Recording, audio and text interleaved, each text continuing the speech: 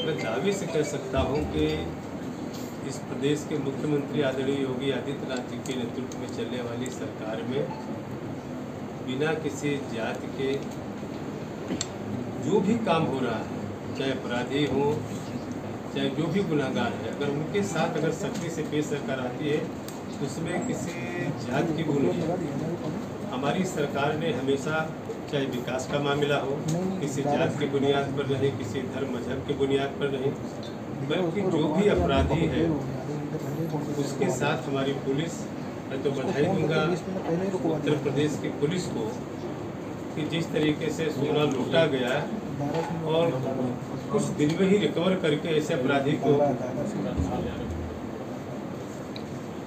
जो भी अंजाम देना था, उसको अंजाम तक पहुँचाने का काम किया है। और कई इस तरीके की लूट की घटनाएँ एकाक मेरे संज्ञान में आई। लोगों ने पुलिस को शाबाशी भी दिया है कि योगी जी के नेतृत्व में चलने वाली सरकार की जो पुलिस पूरी मुस्तैदी के साथ जो है, पूरी तरीके से जनता के साथ खड़ी है। और यह लोग जो है, ये बार बार मुझे तो आश्चर्य होता है।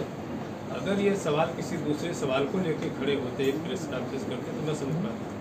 लेकिन एक अपराधी जिसके बारे में कहा जाता है कि कितने दर्जन मुकदमे उसके ऊपर था, लाखों का इनाम जिसके ऊपर था तो पुलिस तो ऐसे अपराधी को लिए हाथ पे हाथ धर के नहीं बैठेगी, बल्कि ऐसे लोगों को जवाब देगी और पुलिस ने जवाब दिया है लेकिन मैं समझता हूँ माननीय अखिलेश यादव जी, एक पार्टी के राष्ट्रीय अध्यक्ष होने के बाद भी वो जिस तरीके से अपराध को, एक अपराधी को लेकर के इस तरीके का प्रदेश की सियासत में जो एक बाउंड्री कहा जाएगा।